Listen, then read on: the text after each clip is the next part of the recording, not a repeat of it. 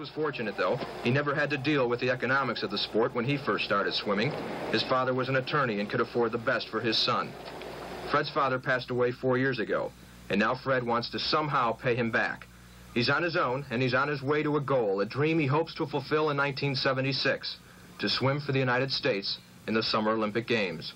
But Fred Evans had to overcome a lot to become a champion, like the times he was the only black in a meet and the white swimmers pushed him aside as if he wasn't even there.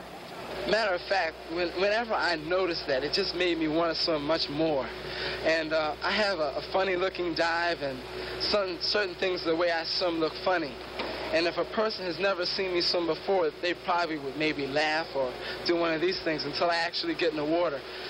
And it's just, I like upsetting the, the norms. You know, I, I just, when, I, when it bothers them that I'm doing good, that just makes me try and go much more harder.